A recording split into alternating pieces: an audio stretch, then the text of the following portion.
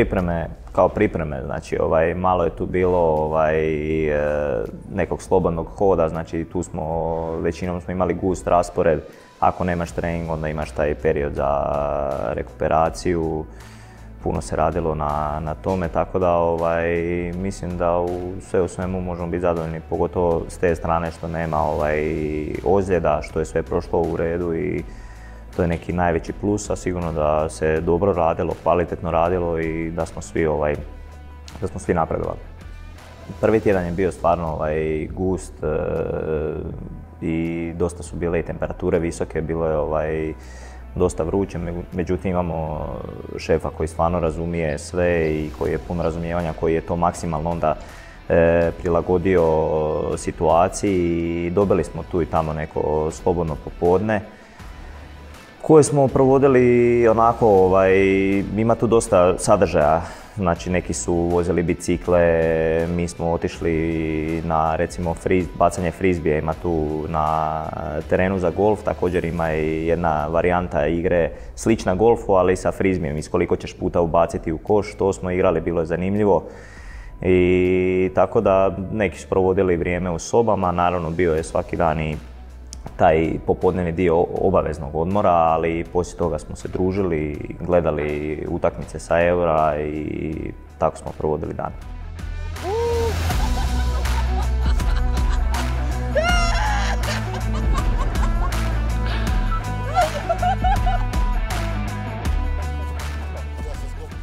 fizioterapeute moramo spomenuti skupa sa doktorima, ovaj,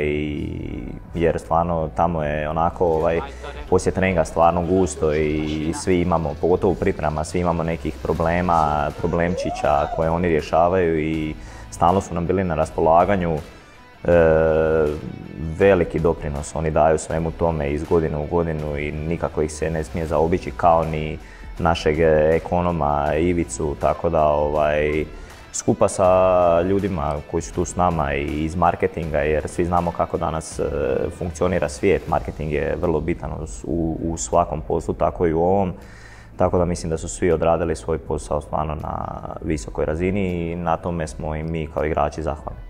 Pa sigurno da mi ovaj, stariji igrači da zahtijamo više ovaj, od fizioterapeuta i nekako nam je to i potrebno. Ovaj, ja mislim da sam ja svakodnevno kod njih, možda sam čak i najviše ali ovaj, nekako i oni koji ne dođu na, konkretno na masažu ili na nešto, dođu tamo provesti neko vrijeme jer stvarno tamo je atmosfera nekako baš opuštena i šalimo se s njima i, i popijemo kavu s njima i nekako ovaj, imamo baš e, dobar odnos i to je neka ta prostorija gdje onako ovaj, napravimo neki rezime dana i na večer i tako da ovaj, bude lijepo.